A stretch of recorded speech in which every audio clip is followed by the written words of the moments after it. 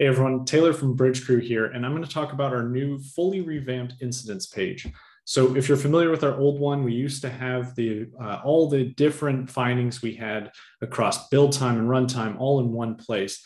And now what we've done is we really separated those out. So you have your projects page for all your findings uh, in code, all the different scans that you've done across Terraform and CloudFormation, ARM, et cetera. And then you have your runtime incidents in your incident page. And this is where you have your AWS, Azure, GCP, and Kubernetes findings. And what we've done is we've separated those two. So now you have your code and your runtime issues completely separate. And then we've also completely redone the whole interface for the inter, for um, incidents page. And what we've done is we focus the efforts on making sure it's easy to find and fix the higher issue uh, higher critical issue problems. So now you can focus on resolving the, the alerts that matter.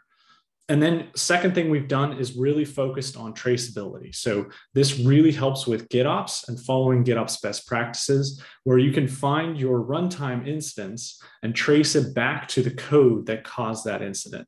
That way you can resolve the issues in code, even if it was found in runtime, rather than resolving it in runtime and causing drift. So let's take a look. So here's our new fully revamped incidents page.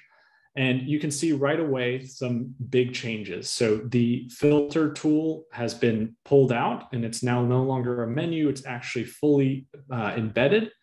And you can see a lot of the filters you would expect, open, pass, suppressed, the source, runtime source, category, severity, I can filter by critical, high, medium, or low, the range for when that issue was discovered, relevant benchmarks, and any tags.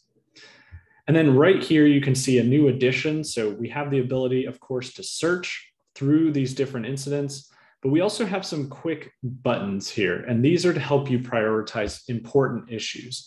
So you can see here the ones that are urgent. If I click on that, you can see it's now filtered to critical and high severity issues that were discovered in the last month, and they're unencrypted or public access issues in, um, in my runtime environments.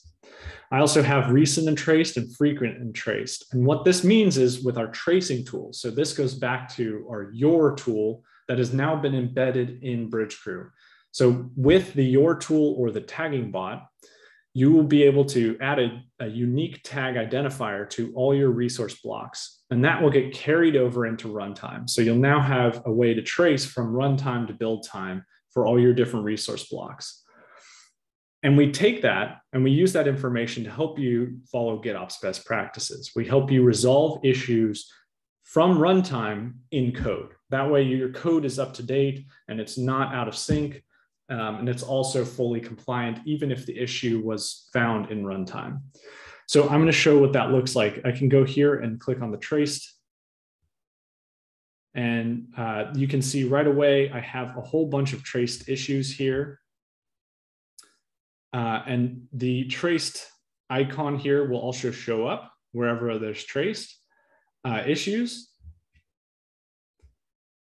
And then you can see once we're once we're in here, I can even see um, issues that I can go back to the projects page. So here's one, ensure all EC2 instances are connected only by only to encrypted EBS volumes. Now, if I view this in the projects page, it's telling me it's going to take me to the projects page.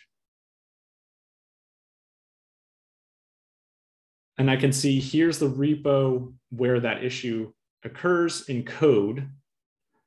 And here's the exact issue in code. So now I know I need to go into this exact file to resolve the issue rather than resolving it in runtime.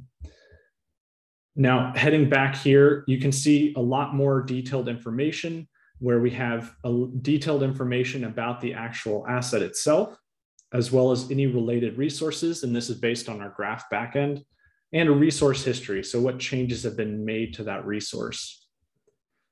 And then heading back up here, we have the ability to save filters as presets. So you can use those same filters again or export all this information as CSV so you can tackle it in whatever format you want to use. And then over here, you still have the ability in runtime. So let me just turn off all these filters. you still have the ability in runtime to run, do a fix. So I could fix this in runtime. Of course, I don't want to do that. I'd rather do it in code. Um, and then I can also go through and suppress these. And what's new here is I have, I can fill in some information. So let me just check a resource. I have to provide a justification now, and I can do an expiration. So this could be filtered, this could be suppressed for now, but I need to tackle it again in a month. And uh, any more options here. So if I save that, then that will save the expiration date and that um, issue will pop up again in a few months or whatever I, I set that as. And so as you can see here, this is our fully revamped incidents page. And all of it aligns to getting things solved fast, but also prioritizing the issues if you can't resolve everything. Finally, it's really important if you're following GitOps best practices to resolve whatever you can in code. And so we help a lot with that with a lot of the built-in trace capabilities in here, where we can trace things from build from runtime back to build time, all in this incidents page. So you can find that issue for your AWS S3 bucket in runtime and resolve it in code, in the Terraform code that created the S3 bucket. That way it's in sync and solved. Thanks so much for watching. I hope you can try it out for yourself. Thanks.